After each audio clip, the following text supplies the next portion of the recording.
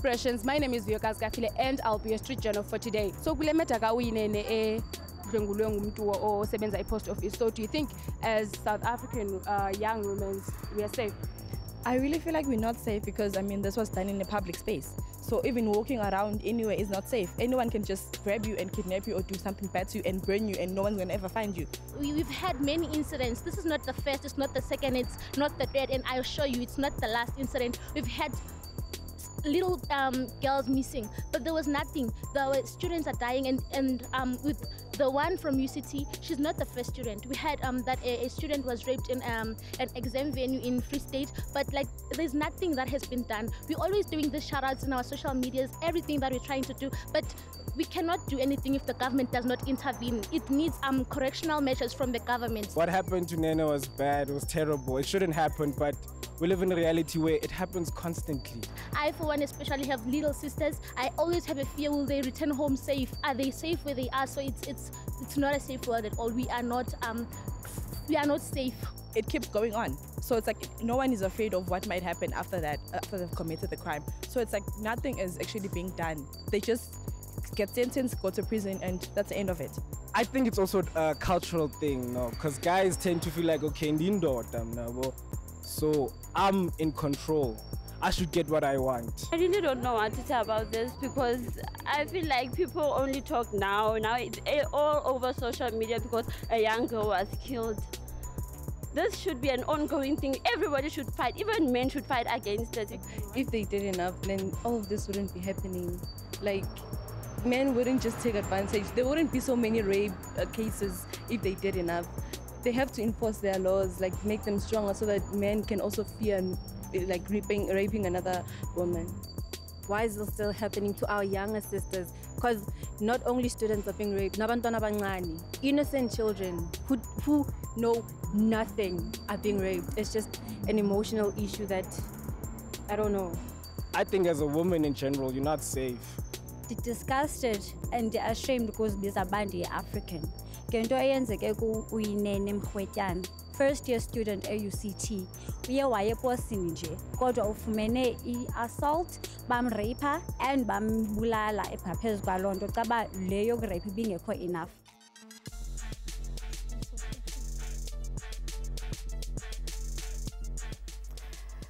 This is a very dark period in South Africa. But on that sad note, we want to say hello, Dumelang Sanbonani, South Africa.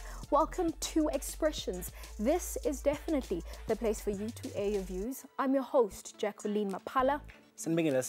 And I'm your host, Tumngolisi Wawamasango. Now we're coming to you live from our headquarters in Auckland Park, Johannesburg.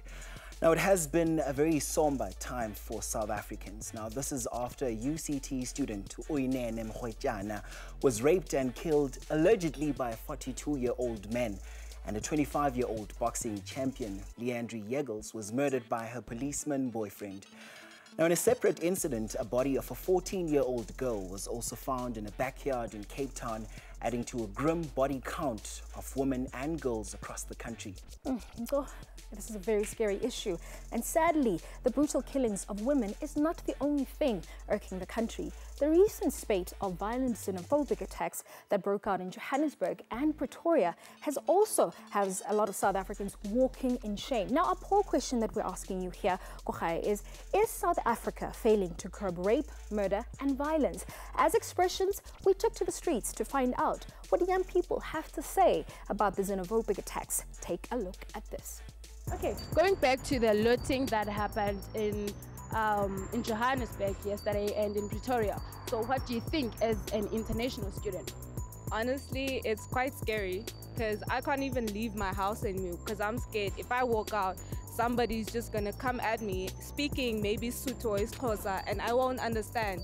And that will immediately show this person is not from here then I could get stabbed, murdered, killed, and then all I have is my student card. My parents have to see me dead on the TV. With regards to the looting, we do understand that what uh, happened in Pretoria was extremely wrong, but now even innocent people are dying. For instance, in Germiston, there was a boy who was shot while they were trying um, to, to, to ban the cars of um, the Nigerians and stuff, and it's, it's, it's wrong because not only are um, the, the, the victims um, shooting out to the people who were, who were doing wrong things, but also innocent people um, staff buses were being attacked. Students couldn't um, um, travel from um, the campus to, to, to their residence. So now they, they had to walk all the way from campus to, to rest. So it's, it's, it's not good at all. Um, honestly, I feel like this is an issue that's going on all over South Africa. Even our fellow South Africans, they are also selling drugs. So we can't just put the blame on them because even our brothers in South Africa, they also do that. It's, it's never safe, man. I've, I've never really felt so unsafe in my entire life. le nto yenzekayo nge-xenophobic attacks kutheni singabi ngama-afrika sibamanini emzantsi afrika Hmm, So we definitely need unity and to see an end to some of those xenophobic attacks that we've been seeing in Joburg and Pretoria. But to help me unpack this issue, I'm joined in studio by Mpilo Shimangu, who is from Ubuma Leadership, and I'm also joined by Dari Robure, who is from the African Youth Networks.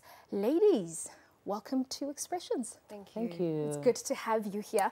And of course, I never have this conversation by myself. My co-host Mkolisi is obviously manning our social media corner and bringing some of your insights, to the Dekochaye, about this issue that we are talking about in studio. But ladies, let, us start to unpack this. And I know we are unpacking two issues, but I think they are both connected and related to each other, right? And I think, Mpilo, maybe we start with you. I mean, South African women are sick and tired of living in a country where they are constantly fearful, where there's almost like a normalization of femicide as well as rape. And we just want to find out what will it take to keep South African women safe? Yeah, I think the issue is just that. For, so, what social media has done is that it's actually amplified for us the problem that has been existing for so many years. And I think the issue is that maybe it's a matter of us not asking the right questions because you're constantly seeing in throughout today's conversation that women are sick and tired of being told of how to be safe in certain spaces because clearly there's no space where we are safe in. And I think now the conversation needs to really be led by men in terms of, especially those men who say, I'm not me, or, you know, all these hashtags that the men are like following. And I think with that, that's the thing that we're trying to push within Ubuma leadership. We have a program called the Black Men's in Bizo, whereby our black uh, male colleagues actually lead conversations with men from their communities to basically try and understand what is it that is making men feel like they have to reinforce their manhood so violently on women's bodies. And within that, you find that you have a conversation where you're looking at black males' masculinity, the issues of identity, and really unpacking why they feel like a woman can be seen as just a sexual object, or a woman's a, a woman doesn't have agency at all when it comes to her life or her body, or just you know anything yeah. that pertains to her. So. Yeah.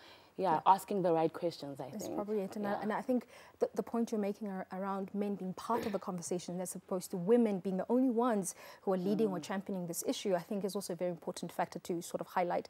And I think for you, uh, Darilo, when we're talking about this culture of violence, I mean, we're seeing obviously women being brutalized and we're seeing femicide, but violence now seems to also be spilling over on a social scale. I mean, we, have seen a lot uh, with the spate of xenophobic attacks that have been mm-hmm. taking place in, in this country. Uh, I think just just as just a simplified way of, of asking this question, what exactly is this revealing about the psyche of South Africans? Are we just anti-foreigners? Uh, what is going on with us as South Africans?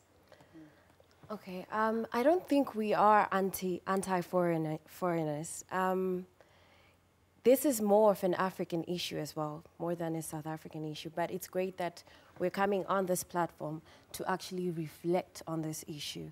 Um, it pertains to different areas which are really important in society. First of all, education. Not only what you learn in the classroom, but um, sensitizing young people as to the history of Africa. You know, when you look online, you see that Pan-African fathers such as Julius Nyerere were very vocal and active in liberating South Africa. So trying to sensitize young people on those topic, topics about where we came from. And also, um, young people mostly gravitate towards peace more than expected. Are we doing a lot in the communities to really go and activate that part? And also, it addresses the economic issues that mm -hmm. are coming up mm -hmm. because people are frustrated. Um, and, you know, we were talking last week at our summit about creating meaningful livelihoods for young people. Yeah. What does that mean? Are we giving them enough skills to mm-hmm. really be active members of society? Mm-hmm. Because at the end, this is the kind of retaliation that comes with this um, this frustration from not having enough opportunities. Yeah. So I think it's a call, right? It's coming out in a wrong way. It's not shining a bright light. But from this dark period, it is our hope that there is something good that will come. Other stakeholders will come into play. South African government, mm-hmm. SADC, the mm-hmm. African Union, mm-hmm. because it is a reflection of that young people do not have a seat at the table, Yeah. you know, and um, so so it's reflected in that manner. And I think it's good that you are also shedding light on the fact that it's not just a South African Yes. problem. Mhm. This is a problem that we see across the continent. And, and I'm also glad that we touched on the fact that, you know, it's not that South Africans are xenophobic, but they're deeper seated issues that we need to address. And of course, we're going to do that with you, Mubogedi But I think the most important thing I want to ask is that we know that social media is very important and it's making such an impact. But when it comes to some of these issues, is it really effective? Is it impactful to, for you to use social media? Maybe that's the question we can ask. But all of that is going to happen after the break. You're watching Expressions.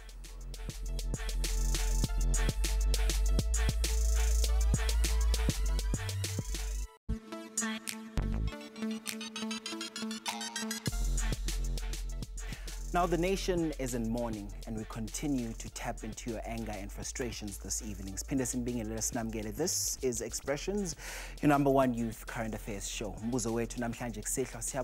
Is South Africa failing to curb rape, murder, and violence? I'm now joined by SABC News producer Unombuso Mahlango as well as Utemba Masango on the show. Thank you so much for joining us this evening, guys. Thank you. Thanks for having us. I can see you guys are in black. You're indeed in mourning. Yeah. Now, Temba, what concerns me is that we've had this conversation with you before, and it seems to be coming back again. More women are getting murdered, you know. Um, and I listened to you, in, you know, attentively this afternoon in one of your interviews, in which you said it's the small things that build up into all of this, the toxic masculinity that continues to resurface emiphakathini yethu. Um, is there enough not being done, though? I, I would say that it's not a matter of not enough being done uh, in the sense that when the violence uh, manifests or the, uh, you know, the, the gender-based violence, uh, the, the, the femicide manifests, it's, it's going back to the root cause. Where, where does it come from? Um, and you find nine out of 10 times, especially when it comes to men, that society does not necessarily address men's issues in terms of toxic masculinity, in terms of uh, they are feeling emasculated when they are challenged, perhaps by a woman who may uh, be uh, cleverer than them, or a woman who is bringing in uh, the bacon at home instead of him being working, and so on. And uh, those issues don't get addressed to the man to say, listen, uh, you bringing lesser money does not make you lesser of a man um, culture, religion, uh, society itself, uh, where we are taught that uh, boys don't cry and you, you, you, you, you, you, you stick it in and, and all of those things. And now a guy is expected uh, to be this, uh, you know, self-controlled human being, but this person is burning inside. And he manifests all of his anger to the closest person to him uh, and which is probably his girlfriend, his wife, and uh, and that's where you you come across issues that we are we are having right now. You know, So- I'm going to pick up some highlights from what you've Yeah. just said to me. And seemingly, uh, my expectations are placed on abantu besifazane most of the times. Don't do this, be safe, Right. don't wear that, don't wear that. But who are you to dictate ukuthi umuntu wesifazane angagqoka ini? Let's not even go there. But why is there so much expectation being placed on umuntu wesifazane? And and not only that, but uh, women don't rape themselves. Women don't kill themselves. Don't go out and uh, murder themselves. It's us, you and me, uh, that, that that do that. So the, should, so the focus should move from uh, ladies not don't do this, don't do that. We should be teaching our young boys uh, to understand that listen, being a male does not have to be expressed by you being violent.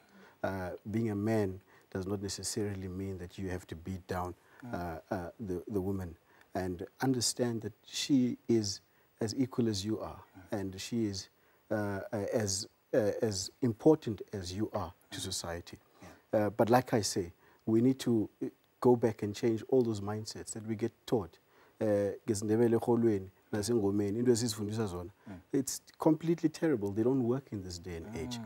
things that we get taught uh, in church Mm. that uh, you know the man is the head of the house no matter how stupid he is yena he feels ukuthi And we've- nangikhulumile ngikhulumile that's Yeah. wrong And that's the Uh, thing, we've moved in with the times, but deeply there's also that ama religious beliefs that have not moved in with the times. But Themba, ngicela ukukumisa kancane bhuti wami, we just need to tap into one of our viewers just to find out good banabatini before we come to you, Nombuso, because you are very upset, and I'm gonna just find out why. Mbugeli Lapo, we just need to quickly find out Utwena Utini with your first expression. Roll it, please. Hi, Expressions. This is Kinsani Chauge. I wanted to comment on the girl that we lost uh, with regards to rape and murder.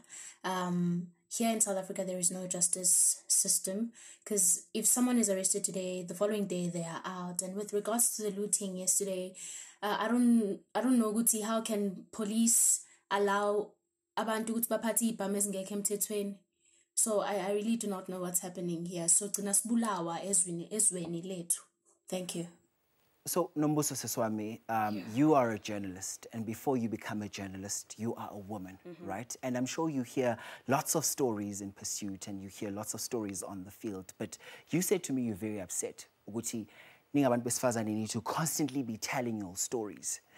Tell us more on that. It's sad because I think most South African women don't even understand the difference between a victim and a survivor.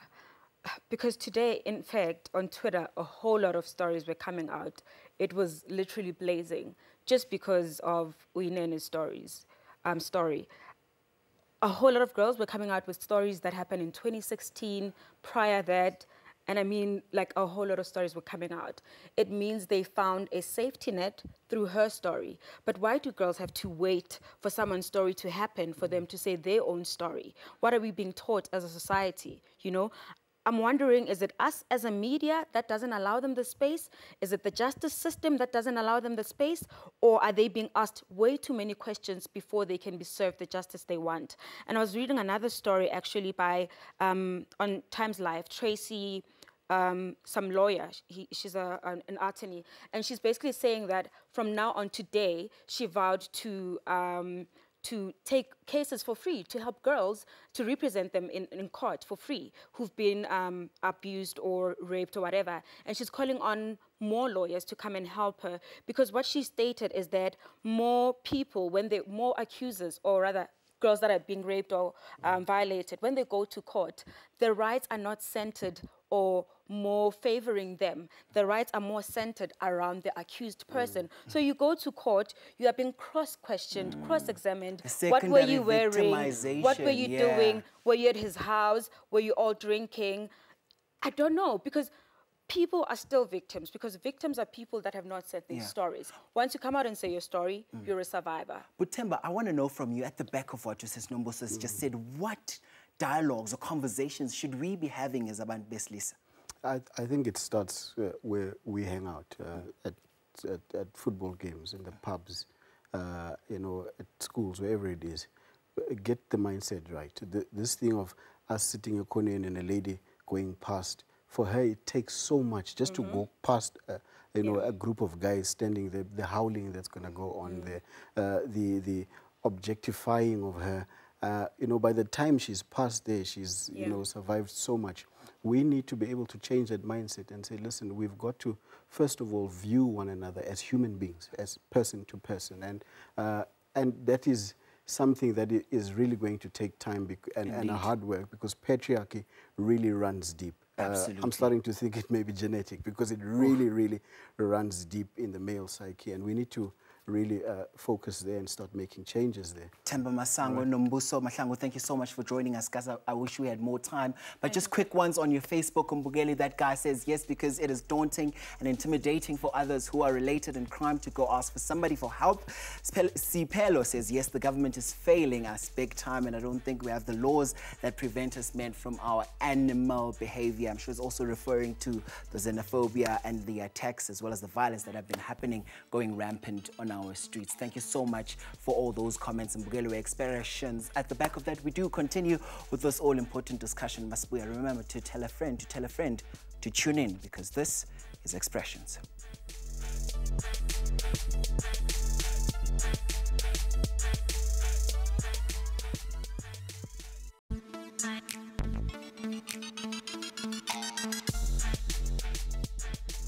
Welcome back. You're still watching Expressions here on SABC1. Tonight, we are speaking about gender based violence as well as the spate of xenophobic attacks that we've been seeing in our country. And the poll question that we're asking you, Kochai, is this Is South Africa failing to protect women from being killed by their partners? And of course, we have to wrap this, uh, this, this interview uh, up and, and just give some, uh, some some parting shots, I think, to, to the viewers. And I think, Bill, I just want to ask you, I mean, social media is a very important vehicle, and I think it's breaking the silence, uh, as we heard from, from one of our guests there. I mean, is it enough, though, to curb this problem? No, it's definitely not enough. And um, the beautiful thing about the movement that Tahrir is from is that it's basically asking young people to firstly organize amongst themselves and mobilize. Basically saying that, listen, we know what the issues are, so let's come together as a collective and actually do work towards it. And I think the thing that people need to do, looking beyond the hashtag, go out into your community, seek out initiatives that are actually doing work on the ground on these issues. Simple case scenario, next week, Saturday, we're hosting a conversation in the Constitutional Court that will be talking about the very same thing that Nombuso brought up about condoms, court and patriarchy, and how even within the systems that are supposed to protect us as a society are also very patriarchal in themselves. Hmm. And, and, and for you, for, for you, Taruro, I mean, the stories such as uh, uh, whether it's Leandra, whether it's Karabo, uh, and of course the violence that we're seeing in terms of, you know, attacks to foreign nationals. I mean, these are things that are ongoing and they're not going to be the first and they're not going to be the last. And it seems like as South Africans, we're very reactionary as opposed to being proactive. So what is the solution? How do we, how do we actually bring a stop to this that is effective and impactful? Yes, pegging on how social media is working. It's very effective in highlighting all these issues. But we have to be cognizant that more than 60% of Africans are actually not online. And when we're trying to tap into the demographic that, you know, that is usually perpetuating this violence, they won't be online reaching, reading these hashtags that we are spreading. So I think as Africans, we also need to tap into the resources we currently have. We have leaders history rep repeats itself. This is not the first time it has happened. So we really need to have intergenerational dialogues, which is one of the pillars of the African Youth Networks movement that we're representing, and really interrogate why we are at this place. Mm -hmm. Because we need to be organized and galvanize the actually the people who are in the communities who are already doing this work mm -hmm. because there are a lot of people but they don't have the spotlight or space or platforms mm -hmm. to vocalize the solutions that they have yeah, yeah. and i think yeah. just also mention as well that you guys were in zambia hey yes. with mama Graça Machel yes and i mean some of the comments just as a quick one i mean yeah i mean are young people saying these are solutions that we need to come up with yes definitely so the african youth Net networks movement it stems from young people asking Mrs. Machel to create a platform for them to build the solutions. And one of the key components is peace and security. And in Southern Africa, we realize that the absence of war is not, is, doesn't mean that we don't have peace. Like mm. issues like xenophobia and uh, femicide came mm. up and we are creating a framework to actually address these issues. Mm. It's amazing that young people are doing something and there's unity yes. within uh, young people within yes. the continent. So thank you very much, ladies. Thank I'm sorry you. that we have thank to cut you short, but I think we've definitely given the viewers Kochai just yeah. some food for thought. Thank Absolutely. you, ladies. Anyway, Jackie, we have to thank you guys so much. Thank you. And Mbugeli, thank you so much, Nawela Pekaya, for joining us. I think it's also about the conversations that we also have mm -hmm. as Abantu Beslisa that feed into the toxic masculinity. Yeah. Let's stop it. Mugeli, thank you so much for joining us. Cutting Edge is up next and Saleh